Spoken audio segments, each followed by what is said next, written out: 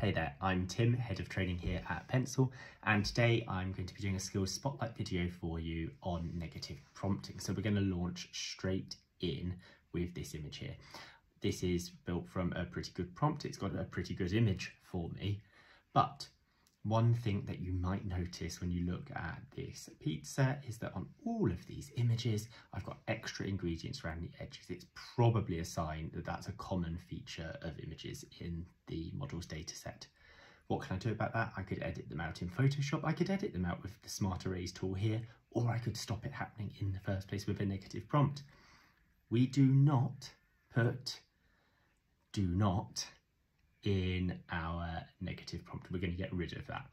That just gives us a double negative. Instead, we specify exactly what it is that we don't want and it assumes do not. So I'm saying extra tomatoes on the table, extra basil on the table, additional ingredients.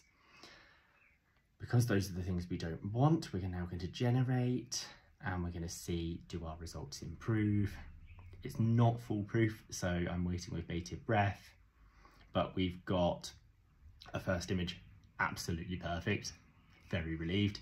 A second image, absolutely perfect, no additional ingredients.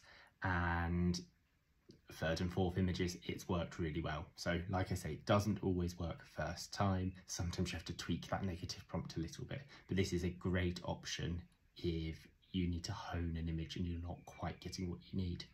So keep an eye out for other skills spotlight videos and thank you.